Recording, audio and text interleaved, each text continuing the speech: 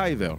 In this video we're going to look at some of the new features in Nacsport 9.0, kicking off with Nacsport Hub. Hub is an online video analysis platform which allows you to upload and share and get the absolute maximum out of your video analysis work. But more than this, it provides a central meeting point for you and your team where you can share insights into the game, start conversations, receive feedback, track your team's performance, and much more. In short, Hub is a communication revolution, a 360 degree video analysis ecosystem which gives you the tools needed to improve performance throughout your team. Check the description for more information.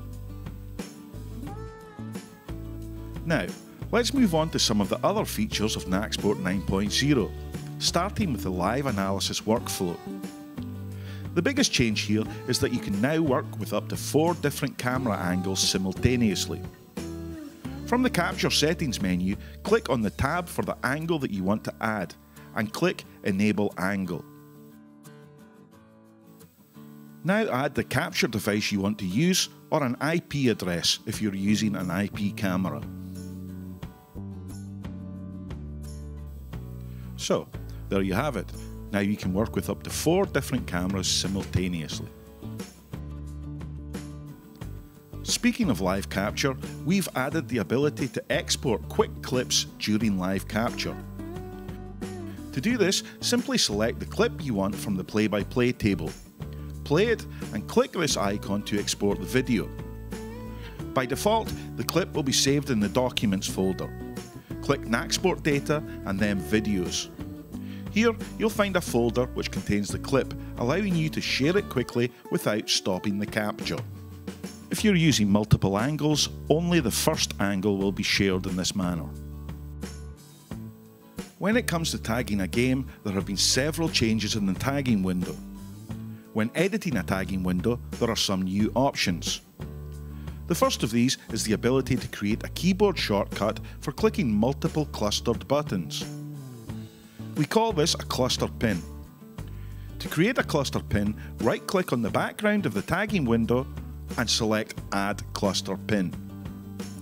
An orange icon will appear which you place on top of the clustered buttons that you want to tag. You then assign a key to the pin.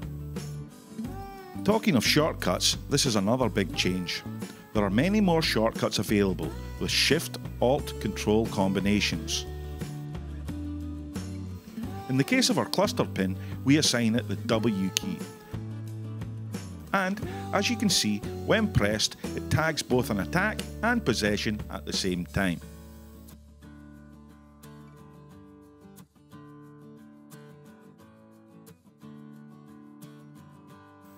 This means that you can work much faster and much deeper. Another change here is the possibility to automatically add an open manual category as a descriptor. Select the button and activate this option from the Behaviour tab.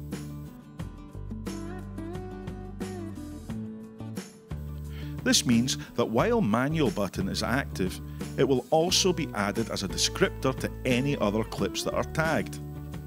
For example, when the defense manual category is open, and we also tag a pass, defense will also appear as a descriptor in the pass tag. Now we activate the midfield category, and you can see this appears as a descriptor when we tag a pass again. Same with attack.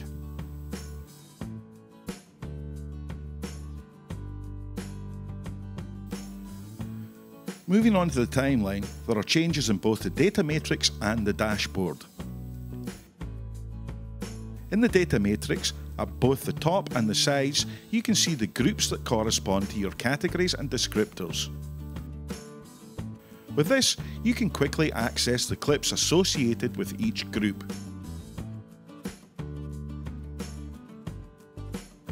If you want to be more specific, use the matrix as it has always been used and click the individual parameters you want to view. You can also see groups at the end of the matrix and you can click on the intersection to see how they relate to the other parameters.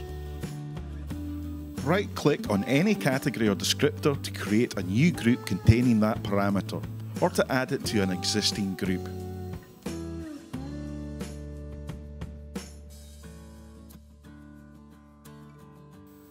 There have also been some changes to the dashboard.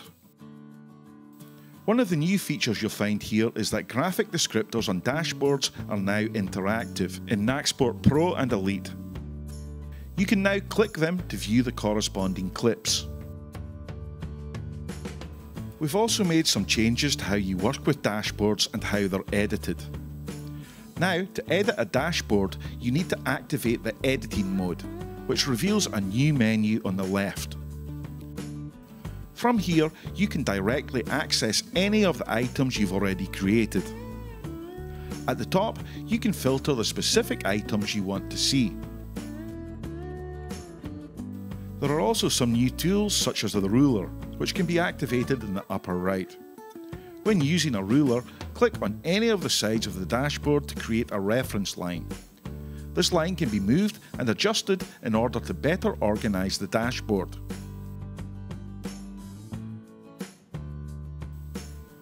Editing items on the dashboard has also been simplified. Now, to edit the size, drag and drop any of the editing points. Select any item on the dashboard to see the options for editing, duplicating, locking and deleting. You can also create new items from this icon at the top. One of the new things you can create is a data matrix. From here, select the parameters you want to include in the matrix and hit Save, and it will appear on the dashboard. This matrix is interactive. Click on any intersection to view the clips.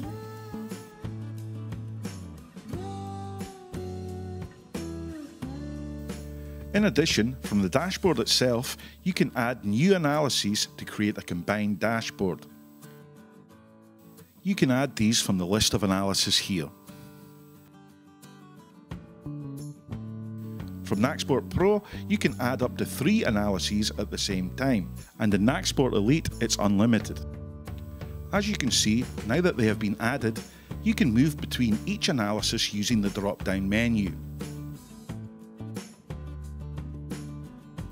You can also view all the data combined on the dashboard at once. Moving on to presentations, you can now make quick drawings on a video. To do this, click on the drawing icon that you can find in the presentation control window to open the tools. These are simple tools which are designed for on-the-fly drawings to clarify points during a presentation. Remember, these drawings cannot be saved. You also have the option to keep the drawings on screen or clear them after pressing play.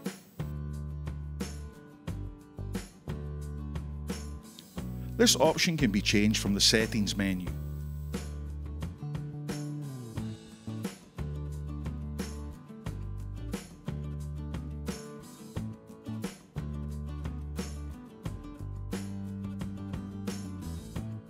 Finally, we come to the newest option for sharing data with colleagues. Data can even be shared between Windows and Mac. This option is called Quick Share. It allows you to generate a download link for your tagging windows, analyses or presentations. From the presentations environment, you can see the quick share icon. Click it and you'll get the option to create a link for selected clips, selected lists, or the whole presentation. In the link creation menu, you can set whether this will be a one-time use link or set a limit to how long the link can be used for. You can also password protect the data that is to be shared. Click Create Link to generate a link which can then be copied and pasted and sent to your colleague. To download the data, click on Download Quick Share and paste the link to download the data.